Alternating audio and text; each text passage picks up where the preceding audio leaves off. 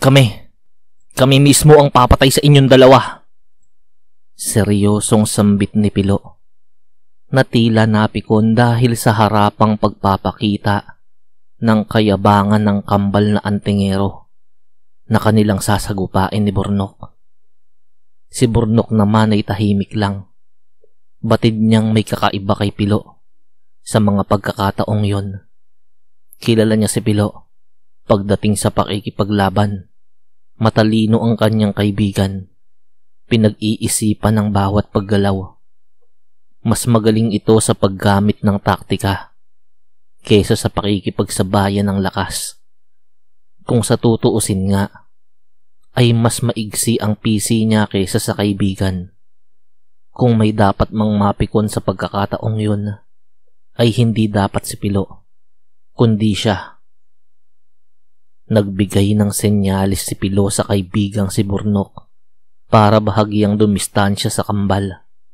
Batid niyang kayang-kaya nilang talunin ang mga antingerong yon bilang isang sundalong may mataas na katungkulan ay nasa kanya na ang lahat ng impormasyon at detalye kung anumang kakayanan mayroon ang kambal na antingero at kung papaanong lumaban ng mga yon.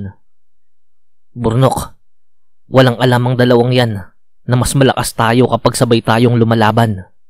Iilan lang ang nakakaalam ng kakayanan natin. Nagamay na gamay na natin ang anting-anting na ikinaloob ni Tatay Kulas ang Trespiko, ang anting-anting na may isang mata na nakapagbibigay sa atin ng malakas na proteksyon. Litanya ni Pilo sa kaibigan. Idinitalya rin niya ang ilan pang impormasyon sa kaibigan tungkol sa kakayanan ng kambal at kung papaanong lumaban ng mga yon. Si Oscar ang ikalawa sa pinakamalakas na antingero sa kasalukuyang panahon Tangan-tangan nito ang mutya ng pagong, habang si Gaspar naman ang ikatlo na nagtataglay ng mutya ng pawikan. Sila ang may pinakamalakas na kabal sa kasalukuyang panahong umiiral. Ang kapamaraanan ng kanilang paglaban ay ang tinatawag na talikuran. Tatayo ang dalawa na magkadikit at nakatalikod sa isa't isa Hawak ang kani-kanyang armas. Poprotektahan ng dalawa ang isa't isa. Kung matatamaan naman ng mga ito ng direktang pag-atake, ay walang magiging problema. Dahil sa kunat ng kabal ng mga ito, ay baliwala ang mga direktang pag-atake. Kapag napagod na ang kalaban, ay ibubuhos ng dalawa ang mga kabal nito sa kanika nilang mga arnis para tapusin ang kalaban. Ang lahat ng iyon ay idinitalya ni Pilo sa kaibigang si Burnok. Agad namang naintindihan ni Burnok ang lahat. Alam ko nang gusto mong mangyari, Pilo. Gagamitin natin ang paraan na inaral natin noon. Ang itinuro ni Tatay Kulas. Kung papaanong mapapahina ang mga antingerong may mataas na antas ng pananggalang. Sambit ni Burnok sa kaibigan, kasabay ng kanyang pagtango. Hudyat yun para kay Pilo. Para tumakbo at pumasok sa masukal na bahagi ng lugar na yun. Oh, bakit tumakbo ang kasama mo? Natakot na siguro. Papaano na yan? Mag-isa mo na lang kaming lalabanan. Mag-isa ka lang mamamatay. Sambit ng kambal na sa mga oras na yun ay nakatindig ng magkatalikod at nakaporma sa depensa nag-aantay sa magiging pagsugod ni Burnok. Papatayin niyo ako? Sa tingin niyo ba ay kaya niyo? Sa pagkakataong yun ay bumoses na rin si Burnok.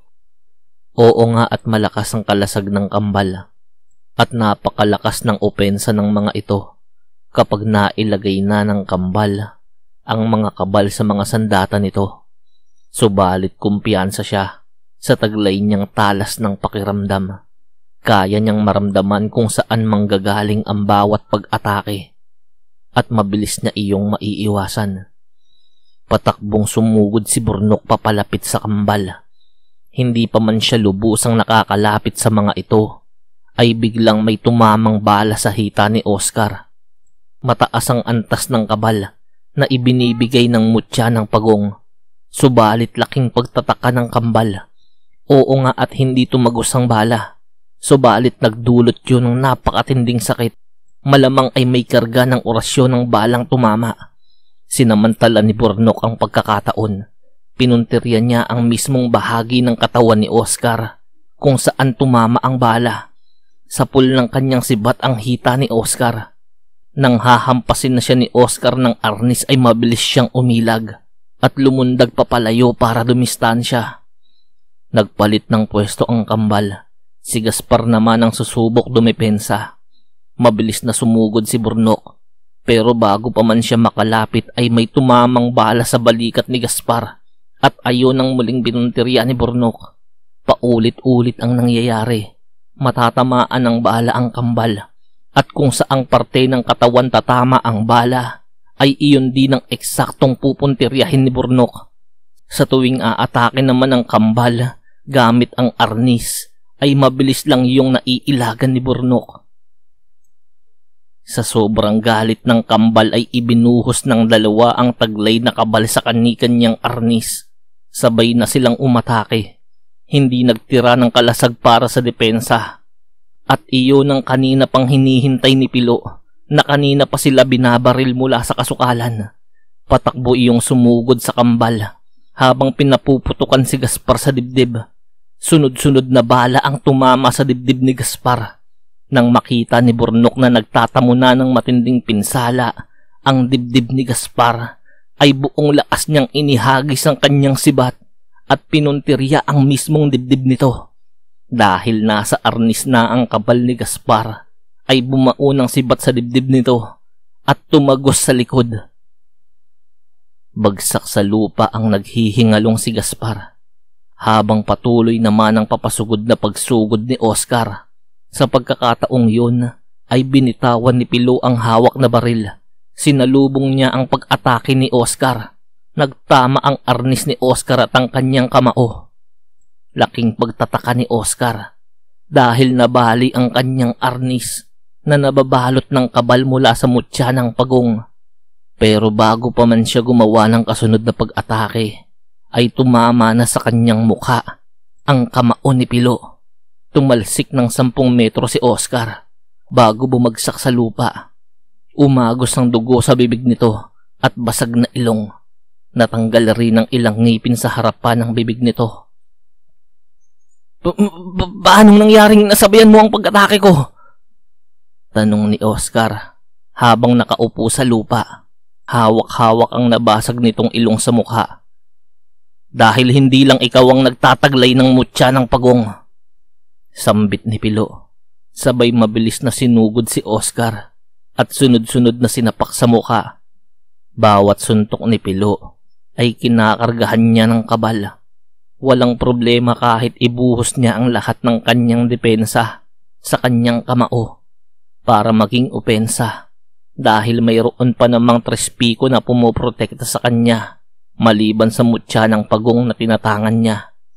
At kumpiyansa rin siyang mararamdaman at mapoprotektahan siya ng kaibigang si Burnok kung sakaling may sino mang aatake sa kanya.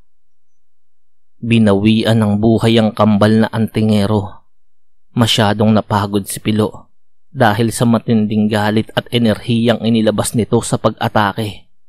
Si Burnok naman ay lumapit sa bangkay ni Gaspar at binunot mula sa dibdib nito ang kanyang bumaong sibat.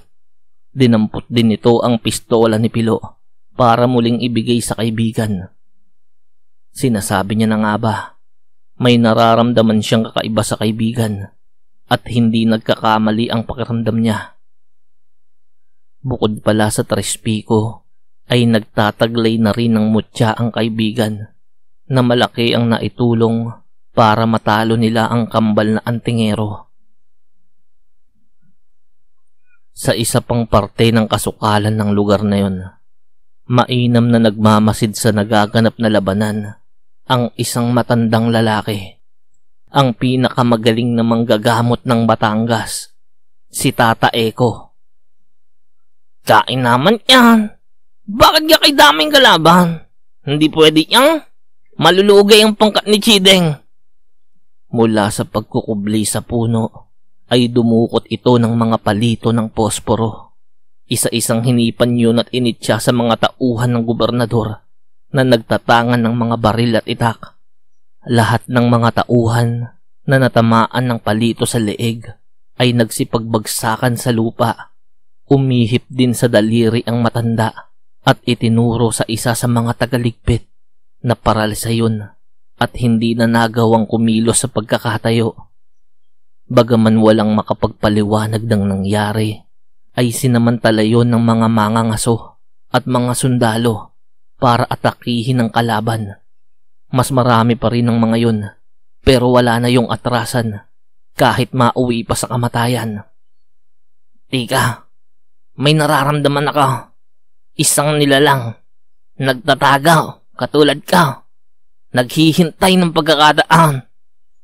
Kaibigan ka pre, mukhang mapapalaban tayo ng husta.